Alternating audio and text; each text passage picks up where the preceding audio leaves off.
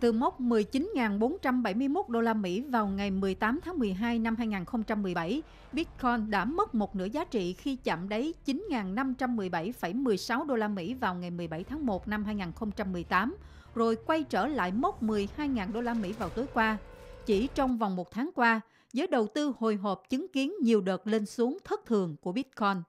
Là người có nghiên cứu và quan sát về diễn biến của Bitcoin, chuyên gia tài chính này có nhận định không mấy lạc quan về tương lai của đồng tiền kỹ thuật số này. Giá Bitcoin xuống sâu như vừa qua nó giảm gần 50% giá trị, giảm một nửa giá trị của một đồng đồng coin thì cũng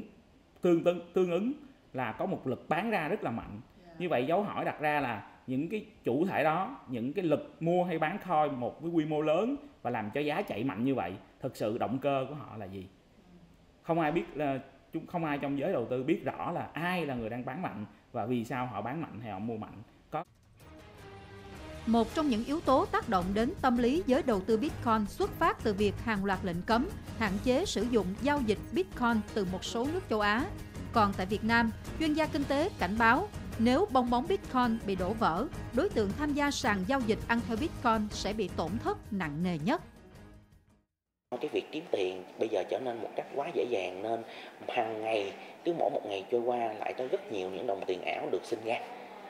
và cái đó là một cái miếng bánh quá lớn cho những kẻ lừa đảo. Bởi vì theo thống kê đã, cái số lượng lừa đảo ở trên những cái việc mà phát hành tiền ảo như thế này, người ta gọi là ICO là đã vượt quá 90% những cái thương vụ phát hành. Rất là nhiều những người đang bị lôi kéo vào cái vòng xoáy đầu tư và bị lừa. Không biết bitcoin là gì, không biết tiền điện tử ra làm sao. Chỉ cần có người khác rủ vào, lãi suất rất là cao, tăng rất là nhanh rồi sau đó sập thì bỏ trốn. Rồi những người đến để vận động không có giấy tờ không có chứng từ gì hết chỉ có một account điện tử trên mạng. Và nó an toàn như thế nào đối với tất cả những nhà đầu tư? Đó là rất là nhiều những cái câu hỏi được đặt ra. À, ngay lúc này tốt nhất là tất cả những nhà đầu tư cá nhân của chúng ta không hiểu rõ về bitcoin không hiểu rõ về khái niệm đồng tiền kỹ thuật số cộng với những cái kiến thức có liên quan thì tốt nhất là nên tránh xa bitcoin và những đồng tiền kỹ thuật số khác bởi vì đây là cái thời điểm mà giá bitcoin biến động rất mạnh mà chúng ta không am hiểu kỹ thuật chúng ta không am hiểu nguyên tắc lẫn những cái kinh nghiệm về đầu tư tài chính mà chúng ta tham gia vô thì cái xác suất thua lỗ nó lớn hơn xác suất kiếm lời rất là nhiều